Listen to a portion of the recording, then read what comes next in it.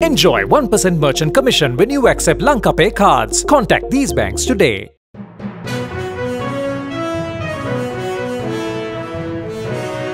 The Board of Investment yesterday launched the five year residence visa program dedicated to investors, stakeholders, and BOI enterprises.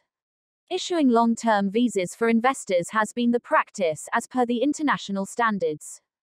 On par with matching the international benchmark in respect of ease of doing business, the BOI has decided to launch this program to attract more investors to the country. The long term visa program, a long felt need, primarily aims to facilitate the investors who wish to embark on a journey with the BOI.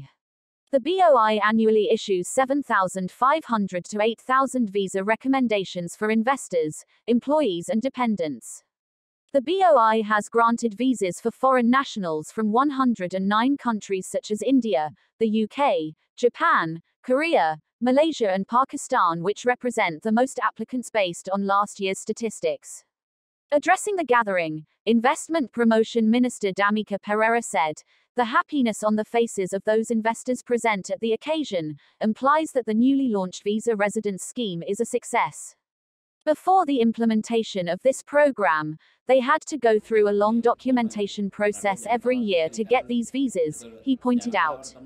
Having understood the prime need to provide a seamless and convenient service for investors, we have launched the new program, albeit I have not officially assumed duties as the Investment Promotion Minister, Pereira highlighted. දැන් අපි මේ කොහොම රටේ ජනතාවත් එක්කනේ කරන්නේ. ඒතකොට ජනතාවට තමයි අපි දැනුවත් කරන්න ඕනේ ඕගොල්ලෝ පෙට්‍රල් පෝලිං වල ඉන්නවා ඩීසල් පෝලිං වල ඉන්නවා. හැබැයි 2018 ආපු ටුවරිස්ලා ටික අපිට ගෙන්න ගන්න පුළුවන් නම් ඔය ඒ වෙලාවේ බිලියන 4 මාරක් රටට මේ ඩොලර්ස් ඇවිල්ලා තියෙනවා ලංකාවට ඒ ආපු ටුවරිස්ලා 2.3 මිලියන් වලින්. ඉතින් අවරේ සාමාන්‍ය එක ටුවරිස් කෙනෙක් ආවොත් රට ඇතුළට ඩොලර් 2000ක් විතර එනවා.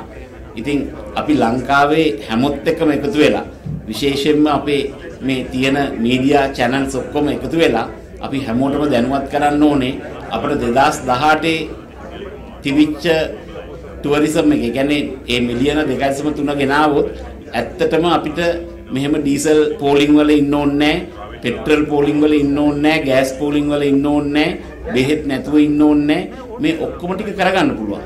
ඉතින් අපි මුළු රටක් හැටියට මේ අමාරු වෙලාවේ බෙදිලා වෙන් වෙලා ගහගන්න නැතුව හැමොත් එක්කම එකතු වෙලා ඒ කියන්නේ මං කියන්නේ පක්ෂ විපක්ෂ හැමෝම මොකද හැමෝටම තියෙන එකම සොලියුෂන් එක තමයි මේ ටුවරිසම් කියන එකයි ෆොරින් වර්කර් රෙමිටන්ස් එකයි. ඉතින් මං හිතන්නේ මේ දෙක අපිට කරගන්න පුළුවන් නම් අපි ඇත්තටම ෆොරින් වර්කර් රෙමිටන්ස් එකට දැන් પાස්පෝර්ට් පොලිම කොච්චර දිග වුණත් අපි ඒගොල්ලන්ට රට යන්න කාට හරි ඩොකියුමන්ට්ස් තියෙනවා නම් එයාට අලුතෙන් પાස්පෝර්ට් එකක් ගන්න අපි වෙනම කවුන්ටර්ස් ඇරලා තියෙනවා. ඉතින් ඒකින්ද දැන් කවුරු හරි ලබන සුමානේ රට යන්න ඉන්නව නම් එයාට බත්තර මුල්ලේ પાස්පෝර්ට් ඔෆිස් එකට එන්න පුළුවන්. අපි ලබන සඳ ඉඳලා වන් ඩේ සර්විස් එක අරිනවා මාතර නුවර වවුනියාවල එතකොට ඊට පස්සේ මේ කිව් එක ඒ තැන් වලට බෙදිලායි කියලා හිතනවා කවුරුත් වවුනියාව පැත්තේ ඉඳලා කොළඹ එන්න එපා කවුරුත් නුවර ඒ පැත්තට යන්න පුළුවන් අය ආයි කොළඹ එන්න එපා ඩවුන් සවුත් වල මාතර පහු කරලා කවුරුත් කොළඹ එන්න එපා ඒ තැන් වලින් પાස්පෝර්ට් ටික ගත්තොත් එතකොට මේ දෙක හරියට තිබුණා නම් ඇත්තටම අපි මේ වගේ දුක් විඳින්න ඕනේ නැහැ.